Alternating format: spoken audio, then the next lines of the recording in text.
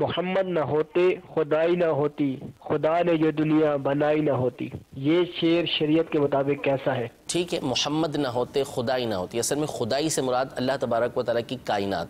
खुदा इन खुद ज़ात खुदा मुराद नहीं है। बल्कि खुदाई कायनात। मोहम्मद ना होते खुदाई ना होती।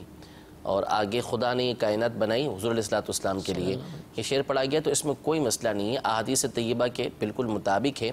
इमाम हाकिम रहमत ला ने मुस्तरक के अंदर सईदना उमर फ़ारूक रदी अल्लाह तु से इस हदीस पाक को रिवायत किया और इसी तरह इमाम बहकी इमाम तबरानी इमाम आजुर्री अबू नुम इबन असाकिर रदी अल्लाह तु कई ने इस हदीस पाक को रिवायत किया है और इमाम हाकिम रहमत ला ने इस हदीस पाक को सही करार दिया है और इसी तरह इमाम इबन अमीरहाज रही बहुत बड़े मुहदस व फ़ी गुज़रे हैं। इन्होंने हलबा के अंदर और इसी तरह इमाम ताजुद्दीन सुबकी रहमत ने शिफा सिकाम के अंदर इस हदीस पाक को सही करार दिया है।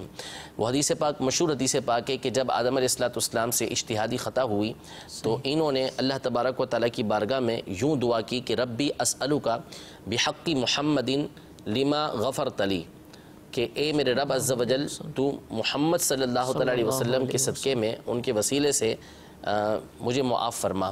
तो अल्लाह तबारक व तारा ने हज़रत आदम इस्लाम से बावजूद जानने के ये फ़रमाया कि कई फ़ारफ़ता महमदन आपने यानी आदम इस्लाम से फरमाया कि तुमने मोहम्मद सल्लल्लाहु अलैहि वसल्लम को कैसे जाना।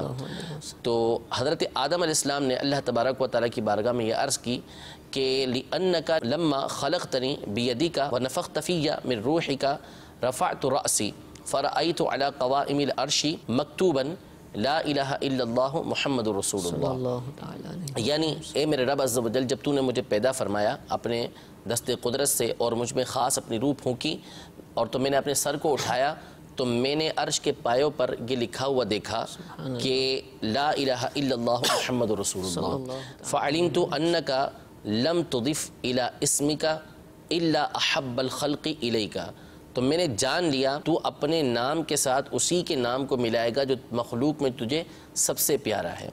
इस पर अल्लाह। तबारक व तारा ने इरशाद फरमाया कि सदकता या आदमो ए आदम तूने सच कहा वल्ला मोहम्मद मा खलक का कि अगर मोहम्मद ना होते तो मैं तुम्हें पैदा ना करता।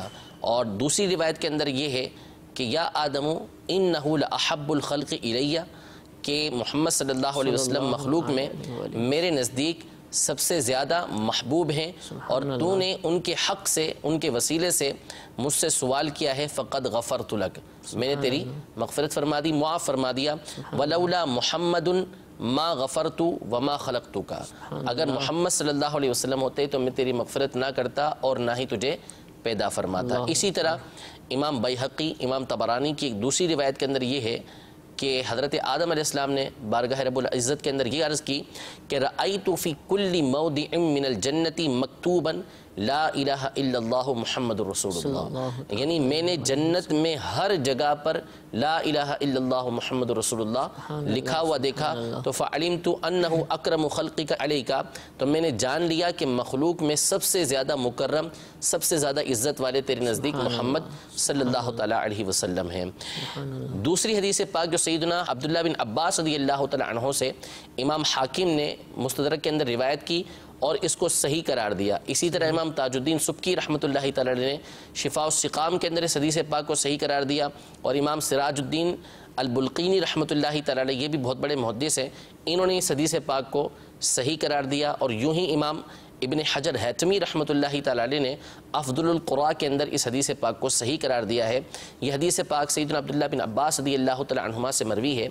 इसमें यह है कि अल्लाह तबारक व ने हज़रत ईसा की तरफ़ ये वही फरमाई कि या ईसा ए ईसा आमिन बि मोहम्मदिन। मोहम्मद सल्लल्लाहु अलैहि वसल्लम पर ईमान लेकर आओ। वमर मन अदरक मिन उम्मती का मीनू बिही। और अपनी उम्मत में से हर उसको हुक्म दो कि जो मोहम्मद सल्लल्लाहु अलैहि वसल्लम को पाए वो इन पर ईमान लेकर आए। फिर फरमाया फ़लौला मोहम्मद मा खलक तो आदमा। अगर मोहम्मद सल्लल्लाहु अलैहि वसल्लम ना होते तो मैं आदम को पैदा ना फरमाता। वलौला मोहम्मद मा खलक़तुल जन्नत वलन्नार मोहम्मद सल्लल्लाहु अलैहि वसल्लम ना होते तो जन्नत और दोज़ख कुछ भी पैदा ना किया जाता। वलक़द खलक़तुल अर्शा अलल माई।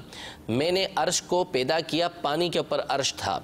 फ़तरबा तो वो अर्श मुस्तरब हुआ हिलने लगा। फ़कतब तो इलाहा इल्लल्लाहु रसूलुल्लाह फसकना।